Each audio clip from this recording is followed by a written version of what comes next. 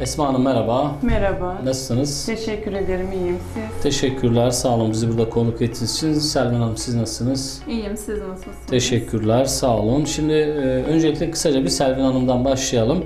E, siz e, burada psikoteknik değerlendirme merkezinde psikologsunuz. Evet. Gelen konuklarınızla öncelikle nasıl bir istişare ve neler yapıyorsunuz burada uygulamalardan bahsedelim biraz. Tamam. Gelen konuklar 66 yaşından gün almamışsa yük yolcu eşya taşımaları, alkolden ehliyetini kaptırmışlar. Bunlar benim eşliğimde 60 dakika sürecek bir teste giriyorlar. Bu testlerimiz 9 tane. Dikkat testimiz var, ikili işlem becerisi var. Aynı zamanda kişilik testlerimiz var. Bunları uyguluyoruz. Raporlaması otomatik olarak cihazdan geliyordur. Bu şekilde yaptığımız uygulama. Gayet güzel. Siz tabii bu işin eğitimini de sonuçta okulunuzu bitirdiniz. Nerede e, yaptık eğitim? Nerede? Nerede Uluslararası? Kıbrıs Üniversitesi mezunuyum. Evet. Ondan sonra da bu artık kurumda psikolog olarak görev Evet. yapıyorsunuz. Peki gayet güzel. Şimdi Esma Hanım siz kurucusunuz. Ee, yıllardır da zaten bu işin içerisindesiniz. Sizde hem Evet. SRC hizmeti var hem psikoteknik hizmeti var. Hı hı, Aynen. Peki öncelikle kısaca sizi bir tanıyalım. Ee, Esma Özdemir kimdir? Siz nasıl sektöre giriş yaptınız? Esma Özdemir, 1981 Denizli doğumlu. evet. Ee, 2008 yılından bu yana SRC ve psikoteknik e, Üzerine hizmet üzerine hizmet veren. Gayet güzel. Şimdi siz kurucusunuz. Evet. Bir bayan olarak buradaki hizmetler kaç yıl oldu? Bu süreç nasıl geçti sizin için? Memnun musunuz? Öncelikle ondan biraz bahsedelim. Ee, biraz zor. Süreçler İşimiz, olmuştur Evet, mutlaka. yoğundu. Evet, Evet. biraz zorlandık ama Oturdu artık oturdu sistem. artık. İyi aynen. gidiyor her şey. Çok iyi. Kaç süper. uzman kadrosunuz? Siz varsınız, hanımefendi var. Psikolog hanım var. Ee, Evet. Başka çalışanlarımız da var mı? tabii iki kişimiz var. Yardımcılarımız da var. evet. Peki, SRC de var değil mi sizde? Evet. O farklı bir noktada hizmet veriyor. Onun iş yerimiz farklı noktada. Evet, peki şimdi psikoteknik değerlendirme merkezi kimlere hitap ediyor? Kimler faydalanabiliyor? Bakanlık bünyesinde mi çalışıyorsunuz? Sağlık Bakanlığı bünyesinde çalışıyoruz. Evet. Ee, taksi, dolmuş, minibüs, e, jip safari, Evet. yani ağır vasıta, taksi, bütün bunlar psikoteknik belgesi Şöyle olabilir. diyebiliriz, ticari anlamda Evet. bu işi ticari yapan araç. Kamyonetinde husus e, şey ruhsatında hususi değil kamyonet geçiyorsa o kişilerin de alması Ona da zorunlu gerek. olan bir belge. Yani otobüs sürücüleri, kamyon Evet. sürücüleri, taksi Hı hı. sürücüleri, ticari anlamda ve saydığınız diğer başlıklar adı altında Evet. herkes bunu alması gerekiyor mu? Yani bakanlığın öngördüğü bir şey mi bu? Tabii ki. Hı Kaç yılında bu yasalaştı? 2008 yılından bu 2008 yana. Evet. yılından beri bu Hı hı. herkesin alması gereken yasal bir zorunluluk. Peki buraya konuklar geliyor. Neler istiyorsunuz onlardan? Evraktır.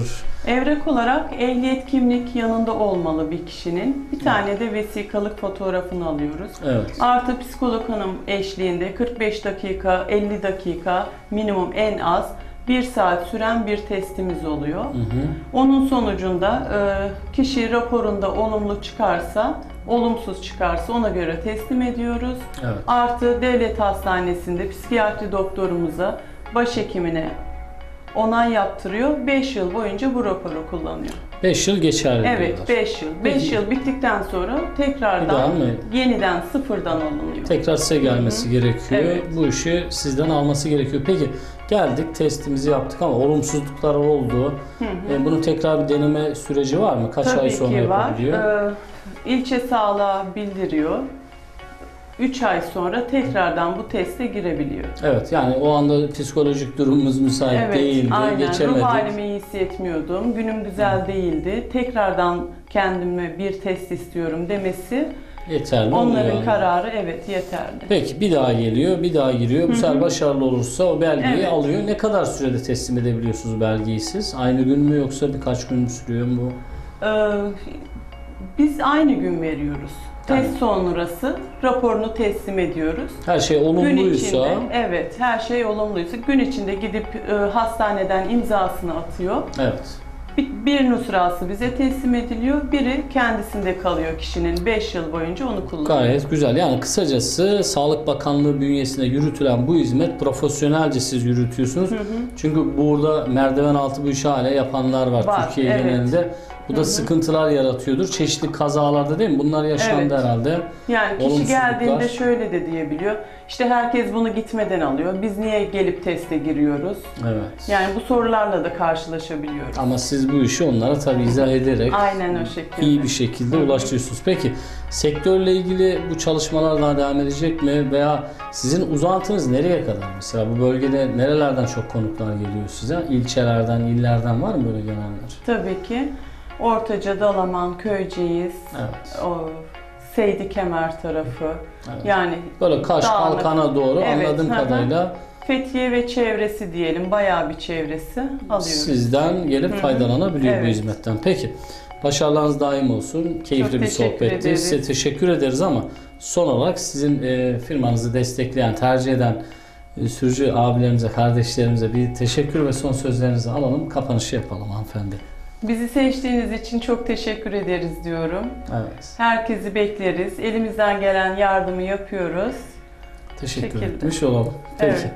Ben size ve hanımefendi size başarılar diliyorum çalışmalarınızda. İnşallah ilerleyen süreçlerde yine farklı bir hizmetinizde tekrar buluşmak dileğiyle. Ağzınıza İnşallah. sağlık.